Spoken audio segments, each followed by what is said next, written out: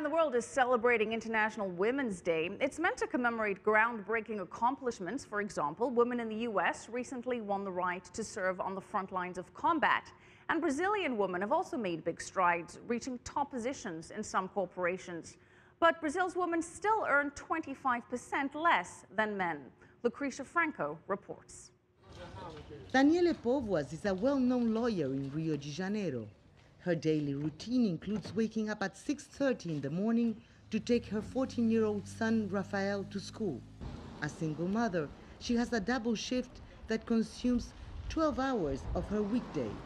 But this is a price she's willing to pay.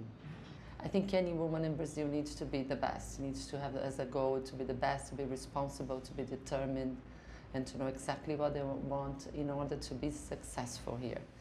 At 38, Daniele owns a law firm and has 10 employees working for her. She's not alone. According to a new World Bank study, 59% of Brazilian companies have a woman among the principal owners. And while the study shows Brazilian women make up nearly 44% of the country's workforce, a woman's hour of work is still worth a fourth less than that of a man. Brazil's constitution guarantees equal rights both for men and women, and the country is ruled by the first female president ever, Dilma Rousseff. Still, there are ongoing discriminatory practices.